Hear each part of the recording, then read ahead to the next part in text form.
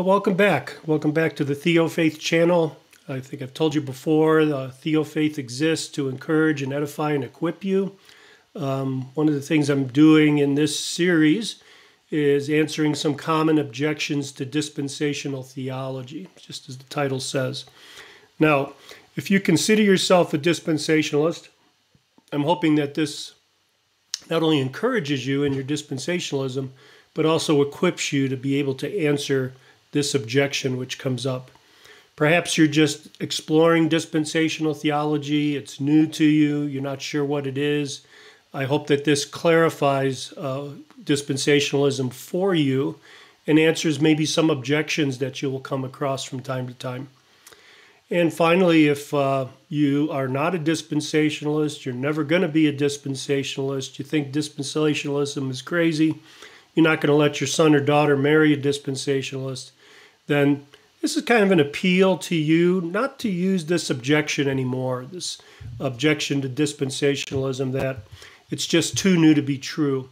Uh, this has come up lots of times and it's been answered lots of times. I'm answering it again just for the sake of uh, my audience. But uh, really, this is um, kind of a straw man at this point. It's been answered so often.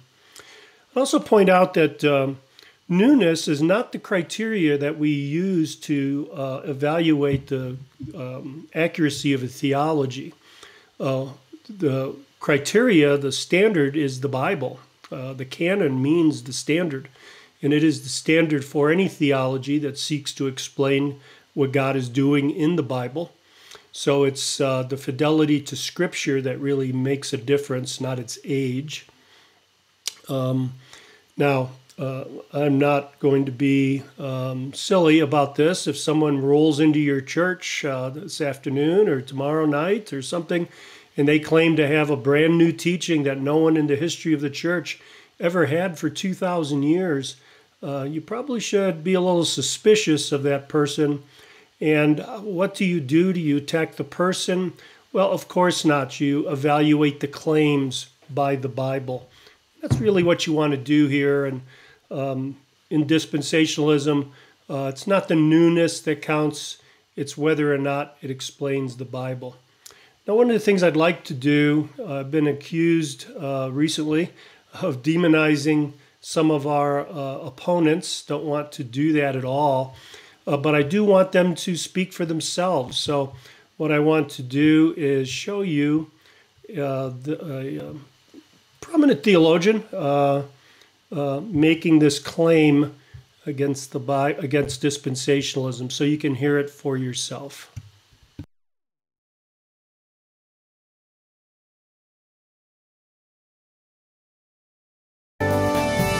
So, where did dispensationalism come from?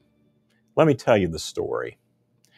First thing to be said about a dispensational reading of the Bible is it didn't exist before the 19th century.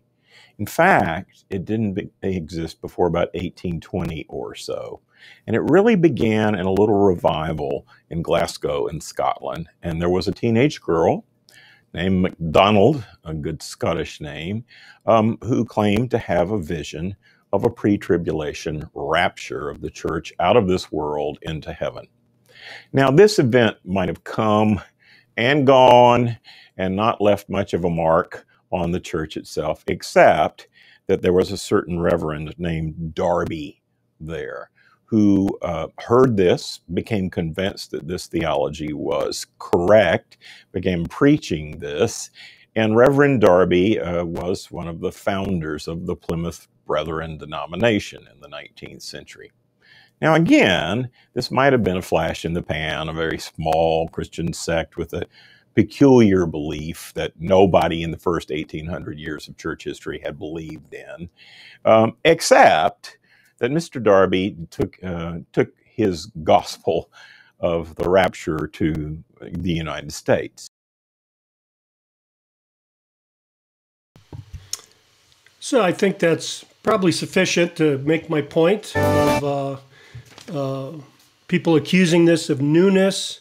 Um, you know, Dr. Witherington there saying it originated in the 1830s. It was all about the rapture. uh, which came to them through came to Darby through a vision from a young girl named Margaret MacDonald. Uh, these are often repeated claims. They've been refuted many, many times. But we're going to just check, focus in on this newness uh, claim. It's too new to be true. You see uh, that he brought that up several times. Well, you know, I'd say that if newness were the criteria, then we'd all still be Roman Catholics. Uh, that uh, the Catholic Church looks at Protestantism and says, uh, comes to 1530, 1500 or so, and says, well, this is a brand new teaching. Uh, it's for 1500 years. The church never believed this. Why should we believe it now? So, is to point out that, you know, if newness were the valid objection, I think we'd all still be Roman Catholics at this point. But what can we say? Uh, we brought up John Nelson Darby. But, you know, if we're going to talk about Darby, I think we can say that he was the uh, uh, an early uh, person to articulate dispensationalism systematically. Jonathan, uh, Jonathan, John Nelson Darby, a new biography out about him, incidentally. Uh, encourage you to read it. Uh, outstanding scholar, uh, systematic thinker, uh, was uh, convalescing after an injury and had lots of time on his hands to think through things. Uh, he did uh, articulate systematic dispensationalism similar to what we understand to be today. There's been development since then, as in all theologies. But by comparison, if we look at covenant theology, uh, Heinrich Bullinger, uh, who lived from 1504 to 1575, he are, he's credited with articulating covenant theology kind of systematically only 300 years earlier. So he is not uh, like centuries before, and Darby is not centuries after the covenant theology was established. It's a mere 300 years. But the real question is um, was Darby the first? Can we say that Darby was the first and the earliest, as Dr. Witherington does? I don't think we can. There's a French um, theologian, a Christian philosopher, Pierre Poiret He's writing only about a hundred years after Bullinger, so not that much longer after. His major work was this L'Économie Divine. It's classic. It's Calvinistic, as were uh, basically all the early dispensationalists. It's premillennial, and it's recognized as a dispensational the, uh, systematic theology that was published in 1687. So this is uh, not long after uh, an articulation of the um, covenant theology. He identifies some major features of dispensationalism. We'd recognize it today, seven dispensationals. Um, uh, one reviewer of this, a person putting together a biography or a bibliography of dispensationalism, said there's no question we have a genuine dispensational scheme here. He uses the phrase period or dispensation, and his seventh dispensation is a literal thousand year reign with Christ. Uh, in bodily form, reigning on the earth with his saints, and Israel regathered and converted. So, lots of uh, common features of dispensationalism. Uh, well before Darby, well before 1830 and uh, not long after a systematic articulation of the covenant theology. But there's more.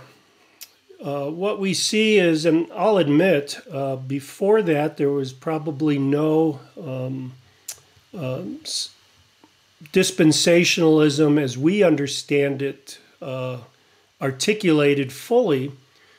Yet, long before Darby, we see plenty of evidence of uh, what would be identified as uh, dispensational beliefs or tenets of dispensationalism uh, in the early church. So let's take a look at that. Um, um, again, Philip Schaff, uh, writing probably the definitive history of the Christian church. It's a multi volume, very detailed um, work. Says the most striking point in the eschatology, that is the end times beliefs of the ante-Nicene age, that is before the Council of Nicaea in 325, is the prominent, what's, what's some called Chiliasm or millenarianism. That is the belief of a visible reign of Christ in glory on the earth with the risen saints for a thousand years before the general resurrection and judgment. Listen to what he says here. It was indeed not the doctrine of the church embodied in any creed or form of devotion, but a widely current opinion of distinguished teachers. So I'm not going to say that dispensationalism uh, is as important as the Trinity, but the Trinity, the argument for the Trinity follows roughly the same lines that uh, it was never articulated because it was so widely believed. It wasn't felt like a, a creed need, needed to be developed. So this major feature of dispensationalism was just part of the thinking of the church, and the church never thought they needed to define this beyond um, um, systematically because everybody believed it.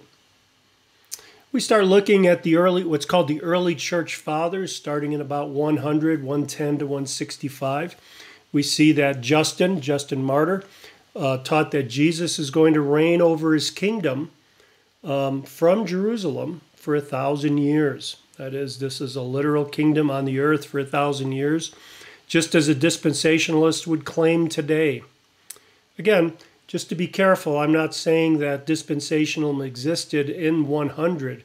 I'm saying that there, in the writings that we have, there are clear teachings that we would associate with dispensationalism today. Irenaeus, another example from that first uh, century church, uh, second century divided history into a seven 1,000 year periods. Pseudo Ephraim, uh, important document, uh, dated between 300 and 600 uh, uh, variously, teaches a two phase second coming of Jesus, uh, separated by a period of tribulation in between. And then this period of tribulation is preceded by the removal of Christians from the earth. So remember when um, Witherington, Dr. Witherington was talking about the rapture being a new doctrine. Here we have it between 3 and 600 AD. Uh, the tribulation ends with Jesus' return, his final judgment, and the eternal punishment of the Antichrist and Satan. Well, it sounds very similar to what dispensational teachers teach today pre trib, that is uh, the rapture of the church before the tribulation, and the reign, the return of Christ before the millennium, premillennial. To go on, uh, Clement of Alexandria taught that Jesus is going to reign over his kingdom from Jerusalem for a thousand years. So here's the church in um, Egypt teaching this. Irenaeus divided history into dispensationalism, into dispensationals, dispensation, sorry.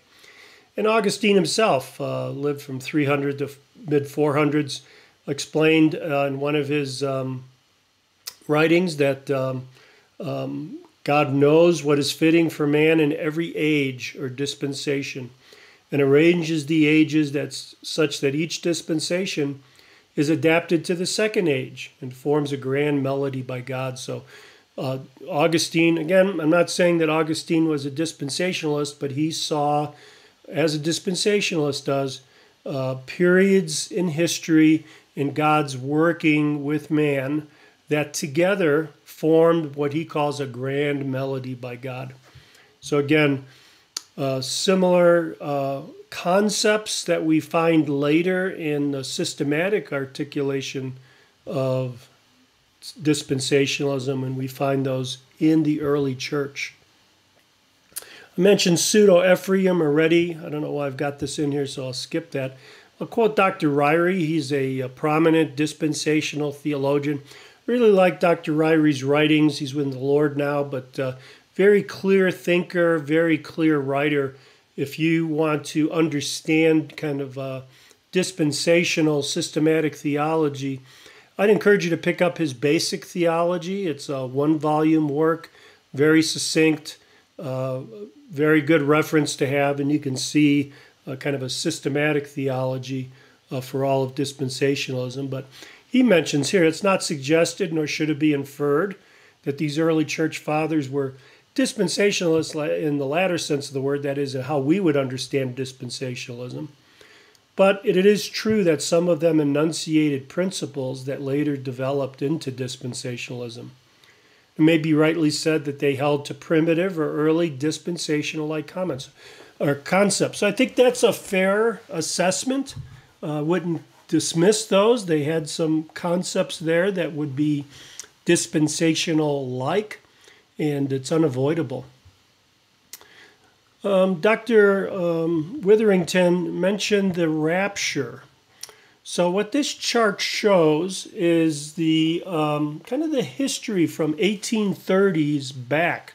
So we start where Dr. Witherington said that the um, uh, pre-tribulation rapture concept started in 1830. He said it was unknown in the church before that, but it's just this chart lays out uh, the uh, concept, um, a description of a pre tribulation rapture, has a long history in the church dating all the way back to 1070s.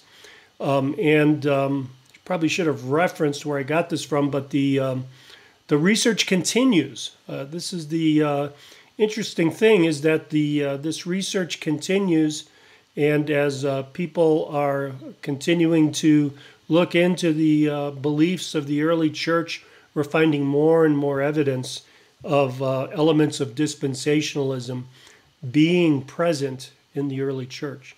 And again, I, I can't emphasize more uh, because, you know, uh, a detractor would say that, uh, well, Dr. Starcevich is claiming that the early church fathers were dispensationalists. I'm not doing that.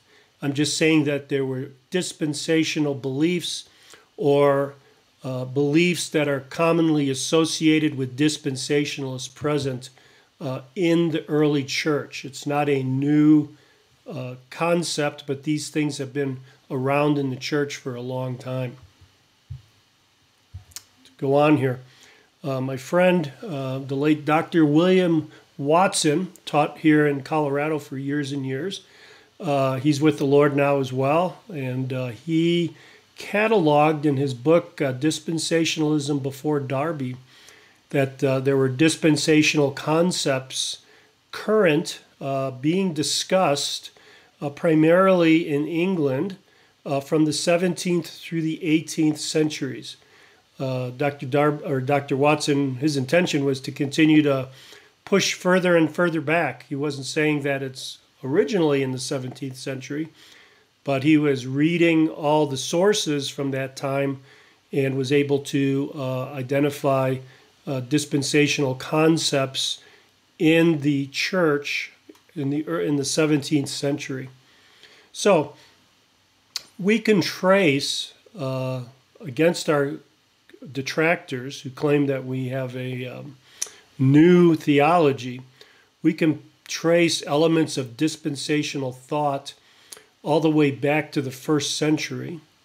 And we can also show that the earliest systematic discussion of dispensationalism was a mere hundred years after the first articulation of covenant theology. So, again, it's just a disingenuous um, accusation, I think. And just to sum this up, uh, this accusation of too new to be true? Uh, hardly.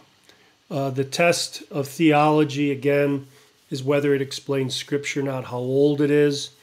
If we look at age and compare theolo- uh, covenant theology with dispensationalism, uh, dispensationalism is just 100 years younger, which is not much in terms of theological articulation. Um, before that, there are key elements of dispensationalism appear very early in the 100s. Um, I'd say in the New Testament as well, and uh, right through church history. Uh, we see it, um, evidence of it continuously.